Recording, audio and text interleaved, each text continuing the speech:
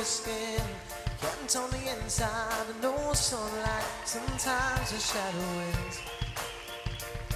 But wonder what would happen if you say what you wanna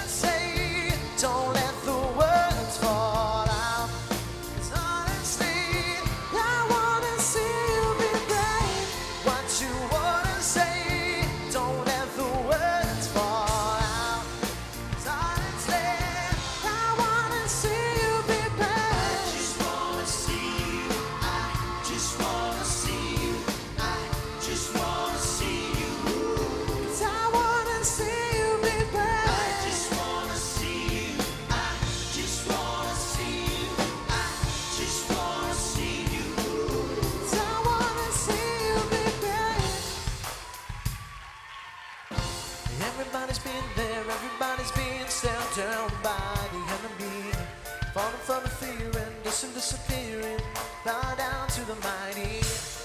Don't run, just stop holding your tongue. Maybe there's a way out of this cage where you live.